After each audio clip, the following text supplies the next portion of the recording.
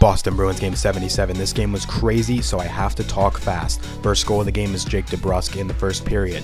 In the second period, Pasta feeds it to Bertuzzi for the second goal of the game. Not long after, still in the second, Oskar Steen scores. He's the 26th unique goal scorer for the Bruins this season. That's an unreal stat. Beautiful goal from Oskar Steen. Glad to see him on the board. Now, at the end of the second period, St. Louis gets on the board to make it a 3-1 game. Jordan Kyrou scores. Two goal lead for the Bruins heading into the third, but with 10 minutes left, Torey Krug scores to make it a 3-2 game for St. Louis. Things are getting a little sketchy, and they would tie it up. 25 seconds left. Jordan Binnington pulled, Jordan Kyrou ties the game up at 3. Now we're in overtime, where Dmitry Orlov wins the Bruins the game, but Pasta, he's two feet offside, it doesn't count. Now we go to a shootout. Kyrou goes first, he misses, then Coyle scores, then Vrana is saved, DeBrusk misses, and then Omar with the save on Schenn wins us the shootout and the game 4 3.